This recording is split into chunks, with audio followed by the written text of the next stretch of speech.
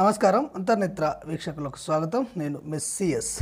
ఈ ఆసరా పెన్షన్లు తీసుకున్నటువంటి కొత్త వారైనా పాత వారైనా కానీ ఒక విషయాన్ని మీరు గుర్తుపెట్టుకోవాలి.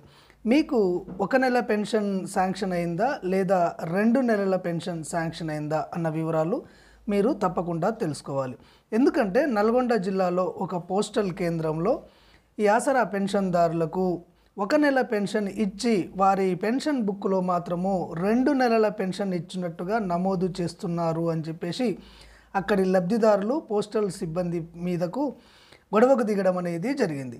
ఈ విషయం నాకు తెలియగానే నేను అక్కడికి వెళ్ళేసరికి పోస్టల్ సిబ్బంది వారి సెటర్ క్లోజ్ చేసుకున్నారు. కొద్దిసేపటి తర్వాత మళ్ళీ ఆ సెటర్ రీఓపెన్ చేసి ఆసరా పెన్షన్దారులకు ఒక నెల పెన్షనే ఇస్తూ ఒకే నెల పెన్షన్కు సంబంధించినటువంటి వివరాలను వారి బుక్కులో నమోదు చేస్తున్నారు.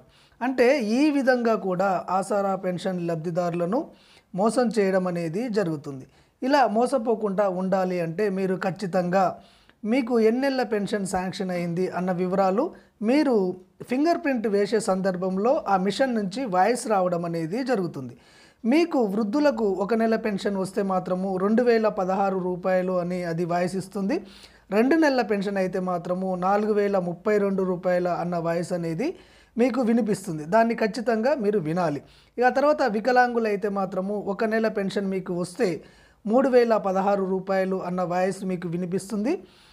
రెండు నెలల పెన్షన్ అయితే మాత్రము ఆరు వేల ముప్పై రెండు రూపాయలు అన్న వాయిస్ అనేది మీకు వినిపిస్తుంది. ఖచ్చితంగా మీకు ఎన్నెళ్ళ పెన్షన్ వచ్చింది అన్న వివరాలు ఆ వాయిస్ ద్వారా మీరు వింటేనే మీకు ఎన్నెళ్ళ పెన్షన్ వచ్చిందన్న వివరాలు మీకు తెలియడం అనేది జరుగుతుంది.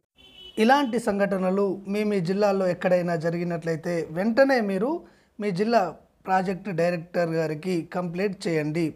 ఈ విధంగా ఎవరు వికలాంగులను కానీ విద్వంతులను కానీ వృద్ధులను కానీ మోసం చేసినా కానీ వారిపైన చట్టరీత్యా చర్య తీసుకోవాల్సిన అవసరం అనేది ఉంటుంది.